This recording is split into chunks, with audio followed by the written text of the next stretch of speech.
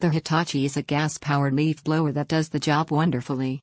It works especially well for small yards, but with its 23.9 cc, 1.13 horsepower commercial-grade engine, it is also great for bigger yard jobs. This Hitachi machine can blow debris 18 feet in seconds. It is compact, but it pushes 441 cubic feet of air per minute at a velocity of 170 miles per hour.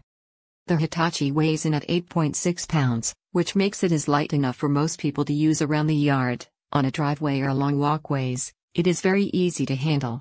It has a large two-finger throttle lever, which makes it easier to operate, and when you need to put the blower down, it has an auto return switch that resets the on button so the blower starts quickly when you return pick it back up after dropping it.